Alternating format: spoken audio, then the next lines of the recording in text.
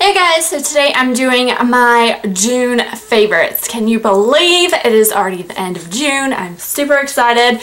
July is my birthday month. July is when I'm going to London. I'm super excited. This is going to be a fantastic upcoming month. But I have some products that I wanted to share with you guys that I have been loving and reaching for a lot this past month. And the first thing I have to share with you guys is the Galaxy Milk. This is the Illuminating Beauty Oil from Kani and this is cruelty free and it is vegan and it is beautiful. So this is a liquid, natural, organic, vegan um, highlighter, vegan highlighter. So it is so awesome. I have been using this a lot. It comes in like a little dropper tube. So what I normally do is I will shake this up a little bit and I just apply it on the back of my hand, just kind of like that. And then I'll take a, a beauty blender or my Real Techniques um, little sponge. I'll bounce it up and down and then I just kind of apply it on my cheeks even though I didn't really need to do that just now. But this is so gorgeous. I don't recommend putting it on top of makeup. I typically apply it um, before putting powder on after foundation, but I seriously love this stuff. Like, look at that. It is so gorgeous. It gives a nice natural glow to the face, and I'm obsessed. Obsessed. And I like that it has natural ingredients. Oh, yeah. Taking my little e.l.f. wipes. This is another thing that I have really, um, I found this month and been liking. It's the e.l.f. Makeup Remover Cleansing Cloths. These are like $3. You can get it from Target. And I just like having these on hand for videos, swatches, cleaning up my vanity, things like that. These are pretty awesome. So yeah, I have one of those on hand for this video. Um, the next two highlights, I've just been very highlighty in June. Um, one is the MAC Mineralized Skin Finish in the shade Soft and Gentle. And this stuff is gorgeous. I love this. This used to be the thing on YouTube a long time ago. Everyone would rave about this. This was like the holy grail product everyone needed from MAC and I picked it up um, on one of my birthdays in Myrtle Beach from like a, what are they called? CCO. But um, yeah, this stuff is gorgeous. I love wearing this. I love the glow that it gives your face and it is a gorgeous shade. Love that. But then the other highlight that I have been wearing pretty like 20 out of the 30 days or however many days there are is the Becca Moonlight Shimmering Skin Perfector Press. I mean Moonstone. It's a Moonstone. And this is a pale gold shade and it's gorgeous. I have been wearing this so often. I mean, I have a lot of highlighters lately and I even have the Anastasia Nicole Guerrero which definitely has more of the shimmer sparkle but this in Moonstone it is life. It gives me life. I love it. It is so nice. So like pigmented and smooth and creamy and I've been wearing this a lot either on its own when I don't want to do a liquid highlight or I pair these two together and I've been loving what my cheeks have been looking like this past month and I wanted to share that with y'all because it brings me life. It brings me some highlight life. But yeah, those, I'm I've been loving those. And they're definitely like old school now, thinking about highlight products.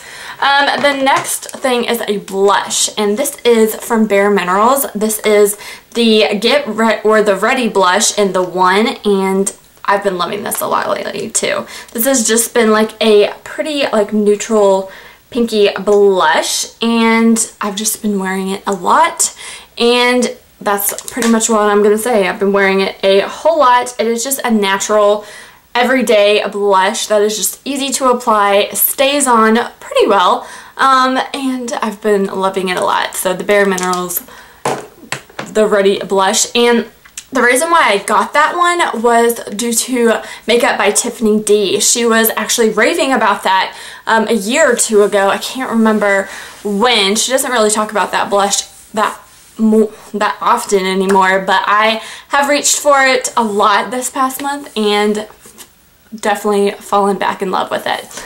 Then I have another kind of highlighty product. This is from Burberry. This is the Fresh Glow Luminous Base or Nude Radiance. And Luminous Fluid Base and Nude Radiance, which is number one.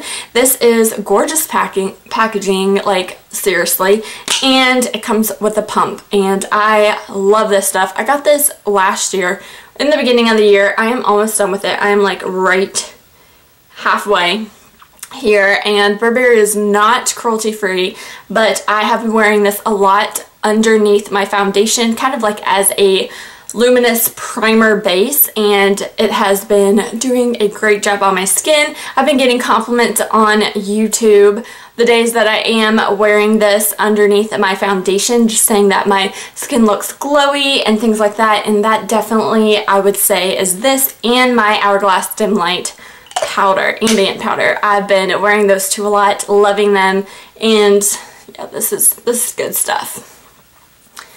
The next thing is just kind of like a basic primer. It is the Too Faced Primed and Poreless Skin Smoothing Face Primer. I am almost done with this baby too. I am like literally right there. And this stuff is like 30 bucks. I have used, I think this is like my third or fourth bottle of this primer and I love it. It is definitely an everyday primer. It helps with my pores. I don't have really deep pores, but this definitely does a good job for me. This does a fantastic job at packing those babies in, and I'm loving it. This is an everyday primer. I am on the market for a cheaper version, a drugstore version. I think I just picked up the Wet n Wild. This is the face primer photo focus. So I'll see kind of how I'm liking the Wet n Wild one over the Too Faced, but the Too Faced one is definitely a favorite of mine and a go-to whenever I just want a primer that I know will work. Then the last thing is a palette that I have played with a ton this month. It is from Kat Von D. This is the Alchemist palette. It keeps going in stock, out of stock every now and then. I got it when it first launched and fell in love with it. This has four, like, what are they called? Holographic duochromy kind of shades. One is pink opal, one is blue violet amethyst. Well, ultraviolet amethyst. I don't know what I'm saying. It's upside down. Then you have blue sapphire and green emerald and I've been wearing this guys I've been wearing this on top of a black eyeshadow and it has been looking on point. I've been loving using this. I use it as eyeshadow mainly but I do apply it on the lips which is awesome. This product is safe to apply on the lips. Not all eyeshadows are so be sure to look out and look into the ingredients of your products if you are going to apply it on your lips but I have been using this a ton really loving it really like the formulation of them. Um, when you apply it to the lips it doesn't feel too gritty which some eyeshadows if you do apply on your lipstick will look gritty and these don't and are gorgeous. I will give you guys some quick swatches of them so there you go. They're not the best swatches. I kind of just put them all together, but you can definitely see the different shades in them. But these guys, if you can't, if you have this, you need to be using it. And if you don't have it and it comes back on the market, I jump on it. Even though my swatches look a little hot mess, but this stuff is good. So other than that, um, I don't really have any lifestyle kind of favorites for this month. I, let's see, Netflix, they just put a whole bunch of seasons on for like Supernatural. They put um, The Night Shift. I talked about that last month. They do and are still, oh my god, I just took a glance at this and it's gorgeous.